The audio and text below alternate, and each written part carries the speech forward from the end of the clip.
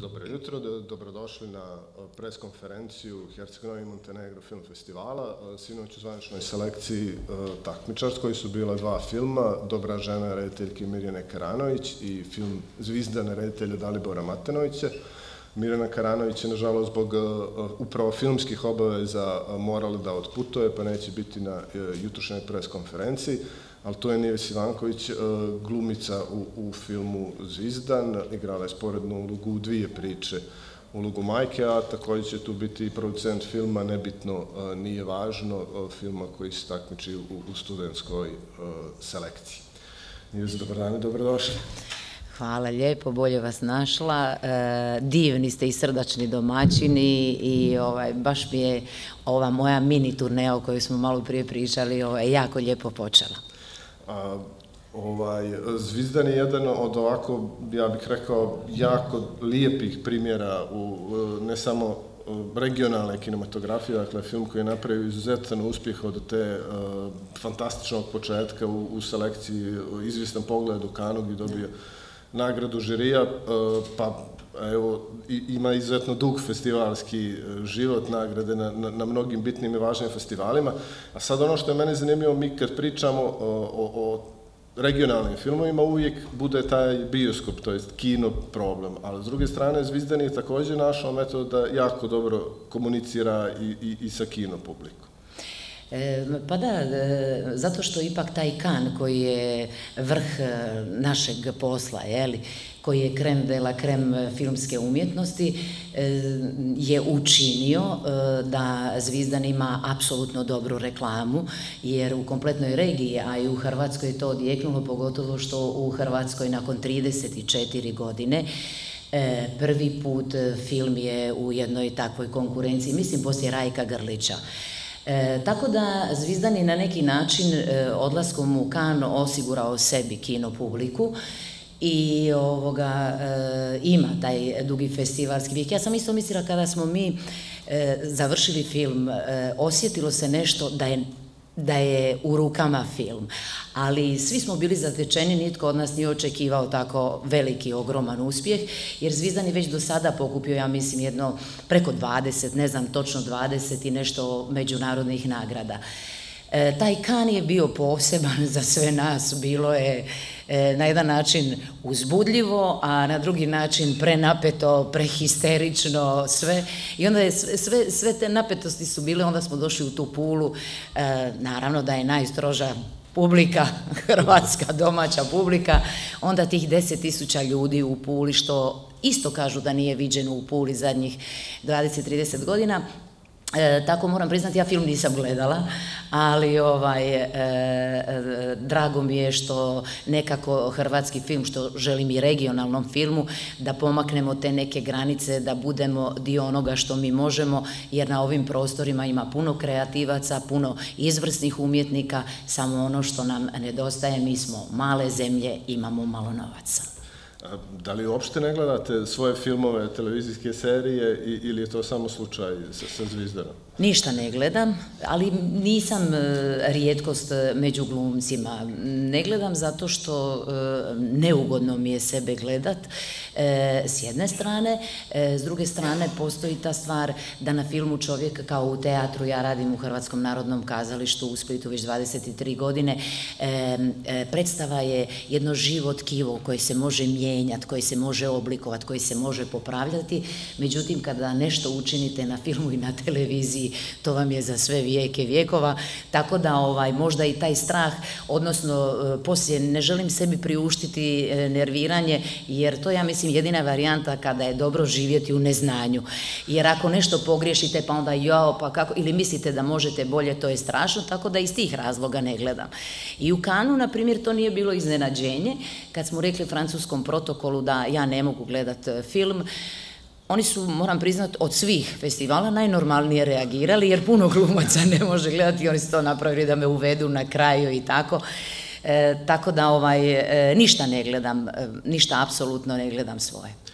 Pretpostavljam da je onda sjajna potvrda dobro urađenog posla, na primjer Zlatna arena za, za najbolju usporednu ulogu žensku. Pa da, i glumac uvijek, ja mislim da u sebi ne treba, neki glumci imaju, ali to su stvarno metode, imaju način da gledaju sebe, pa onda gledaju gdje, gdje griješe i tako dalje. Ja mislim da je najtočniji onaj barometar unutra, glumački barometar. Ako osjećate kao glumac da je to to, onda je apsolutno to to.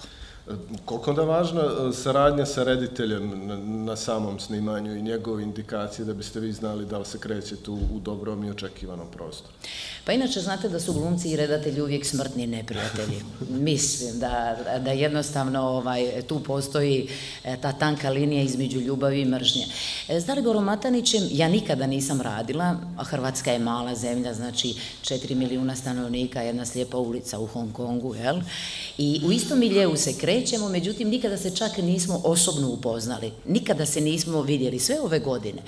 Dalibor me je pozvao e, i moram priznati, ja kažem nevoljko, ne volim ga hvaliti, ali ovaj, jedna lijepa suradnja, valjda već dvoje zrelih ljudi, e, gdje e, je jedan, on, je, on je jedan od rijetkih redatelja koji apsolutno uvažava glumca.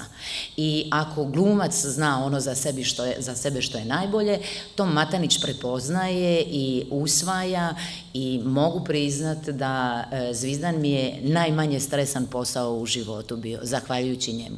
Ali nemojte reći da sam ga hvalila, mislim, jer je, jer, je, jer, je, jer što se tiče njega, vrlo je duhovit čovjek, drag je, mislim, u svakom smislu riječi dobar je čovjek, ali je i veliki zafrkant. Onda je radio te spačke po snimanju i tako dalje, tako da ja uvijek imam e, neki PTSP od njega. Iako vam mogu ispričati jednu epizodu poslije Zvizdana, Ovaj, u teatru radim jednu predstavu i zovu me na telefon i javlja se neki čovjek, govori čujte, ovaj, ja sam producent, talijanski distributer vas je pozvao da odigrate ulogu u talijanskom filmu na talijanskom, ja govorim Matanić 100%. E, mjesec dana je bilo natezanje oko toga, a ja nisam htjela priznat, e, e, mislim, ne, nisam htjela priznat, nisam, kako bi rekli u Dalmaciji, htjela da dušta. I onda sam stalno to odbijala i na kraju stvarno sam otišla u Italiju, u Italiju odigrala film, nije bilo veze s Matanićem, ali mjesec dana je bilo najstrašnije u mom životu. Eto, to je Dalibor. To nije toliko nepoznato kao što, na primjer, Lars von Trier to radi svojim glumcima, e, stalno na snimanjima. Koliko je važno kad je neko kao ko je šef parade na snimanju kao što je reditelj ima takav pristup poslu? Pa kažem, važno je zato što glumci i redatelji u principu nekada se ne razumiju, e, nekada se ne vole, nekada redatelj e, ne dobije ono od glumca što treba. Naravno da je važno ovaj, e, znati s glumcima, a Matanić ima te varijante, on je motivator, što je jako bitno. Dobar je čovjek, ima dobru dušu, to glumci osjećaju i to je jedna vrst zaštite, nema negativnu energiju i onda je lagano s njim raditi. A to da je zafrkant, to je opet kategorija koja baš ne spada u ovu, ali uglavnom to je ono, ajmo reći, šećer na kraju. Kažem, jako lijepo, jedno jako ovaj, ugodno iskustvo, jer e, u 23 godine rada radila sam s dosta e, redatelja e, i moram priznat, opet nevoljko, da on ima apsolutno kako bi rekla, možda smo oboje već sazreli toliko da ima jedan stvarno predivan pristup prema glumcu. Sada vaša glavna partnerka u filmu je Tihana Lazović, mlada je jedna glumica, nemate puno replika međusobnih, ali s druge strane jako mnogo toga pokažete ovaj, prije svega emocijama. Kako je izgledala ta saradnja? Ja mislim da je to njoj prva velika nije. E, Tihana je imala e, prvu veliku ulogu u filmu Lukasa Nole e, i ovaj, Tihana je jedna divna cura i te neke naše energije, odmah, se tu, se tu dogodio klik. Ona je privatno dosta, dosta smo slične, ona je zadranka e, i e, dosta je, kako bi rekla, i e, privatno nekako imamo nešto zajedničko i bilo je jednostavno s njom raditi jako talentirana cura, jako požrtvovna cura, pred njom je ogromna, velika karijera i što joj ja želim i ostao je taj odnos majke i kćeri, mislim i prijateljice i majke i kćeri. U jednom trenutku na snimanju to je tako gdje smo snimali, bili su te lokacije, te razrušene kuće i tako, i tako Tihana i ja na pauzi sjedimo i ona pogleda u mene i ovako mi gleda i kaže, a stvarno mi je ove dvi ža. Mi smo tada već znale, mi smo tada već znale da, e, da je, mislim, i da smo napravile posao i da se naša energija osjeća i da se mi prepoznajemo. Jako je volim, u kontaktu smo i ovaj, nadam se da će još biti projekata, e, jer mi je Tihana baš direktni partner. Ali svi ti ljudi, nekako taj se zvizan složio, to vam je kao u životu kad se poklopi sve. Dobra tehnička ekipa, koja je disala za projekt, izvrsna producentica koja je najbolja u Hrvatskoj, a za Ankicu Tilić već i međunarodna varijanta i regija je ovaj, dobro osjetila kako ona izvrsno radi.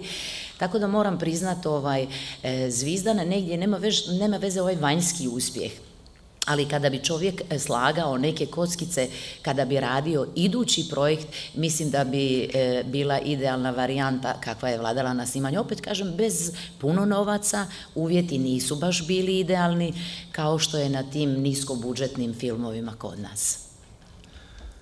E, je li ima neko od kolega pitanje za se? Ja sam sve ispričala, ne možete imati sigurno pitanje. Pa evo, može samo utisci o Herceg Novom i o festivalu, s obzirom da se prvi put pretpostavlja na ovom našem festivalu. Jesam i čula sam za festival, naravno imate dugu tradiciju, 30 godina. Ja inače pratim e, sve e, što se događa na kulturnoj sceni na području regije i ovaj, uvijek svake godine pročitam na festivalu u Herceg Novom i tako dalje. I ugodno me iznenadio poziv i jako sam bila sretna. Iako mi ono dva dana, ali uštipnula sam i, e, i ovaj, tako je, mislim, prekrasni ste domaćini, to nije kurtoazija, moram stvarno to reći. Grad me podsjeća, naravno, na Split, e, ali na Split nekako ono u minijaturnoj varijanti, klima slična, ljudi, e, jezik, a moja je želja da iskoristim ovo, e, da, da tu preljepu Crnu Goru stvarno vidim i upoznam i danas ću otići, pričali smo nas dvoje malo prije, vidjeti ovaj, te kontraste, zanima me prvo Cetinje, i to moram otići. A zamislite slučajnosti, ja u Splitu živim u Njegoševoj ulici. A zamislite još jednu stvar, moj otac je bio, mislim još uvijek naravno, hvala Bogu, ovaj, profesor komparativne književnosti ja kao mala e, sam morala znati sve pa čak i početak gorskog vijenca koji ide Viđu vraga su sedam biljiša, su dva mača, su dvije krune, praunuka, kur, praunuka Turkova s Kuranom. Jesam li, jesam li ok? Ali naravno da ću vidjeti malo i Budvu, da vidimo i tu životnu varijantu i ovaj, samo sam rekla kad je bila sinoć novinarka iz Stifta, kaže, a e, hoćete doći kod nas? A ja govorim, vi ste preekskluzivni za nas umjetnike rudare. Tako da sumnjam da ću otići tamo. hvala puno. Hvala vama i hvala vam i nadam se, ovo je moj prvi e, dolazak na e, filmski festival u Herceg Novom, nadam se ne zadnji. Biće ih još sigurno. Hvala vam lijepo. Hvala.